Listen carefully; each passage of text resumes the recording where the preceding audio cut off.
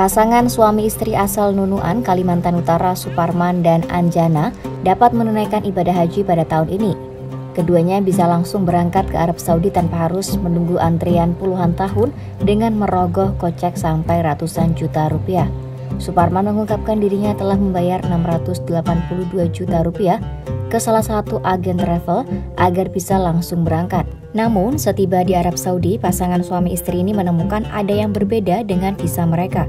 Berbeda dengan kebanyakan jemaah haji lainnya dari Indonesia, Suparman dan istri menggunakan visa amil. Dia mengatakan ada beberapa masalah yang dihadapi ketika masuk dengan visa itu. Antara lain, rombongannya tak mengenakan baju ihram. Mereka juga didenda lantaran ketahuan menggunakan visa amil.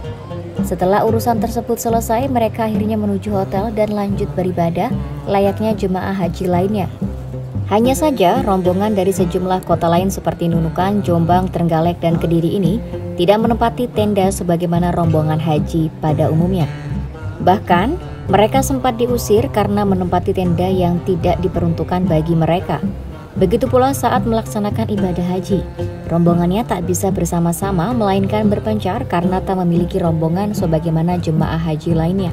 Pengalaman tak mengenakan juga mereka alami ketika selesai melaksanakan ibadah haji dan hendak pulang kembali ke tanah air.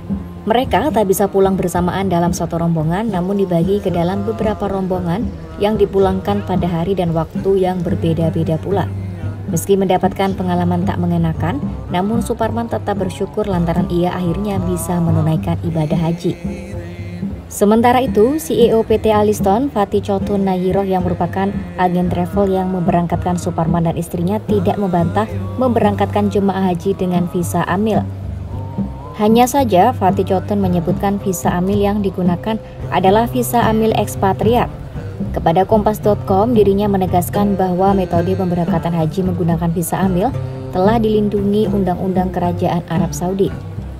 Terkait cerita jemaah haji nunukan yang memiliki pengalaman tidak mengenakan saat wukuf, Fatih Cotur menegaskan pengalaman tersebut terjadi akibat cuaca panas yang melanda Arab Saudi. Selain itu, ada juga beberapa kendala teknis dalam sejumlah fasilitas haji di Mekah. Pengalaman-pengalaman itu disebut juga dialami para jemaah haji lain.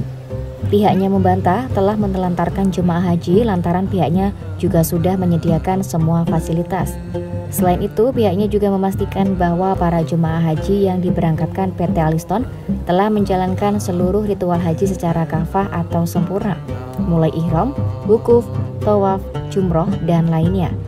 Bahkan jika ada jemaah yang belum melaksanakan haji secara sempurna, pihaknya siap memberangkatkannya lagi tahun depan.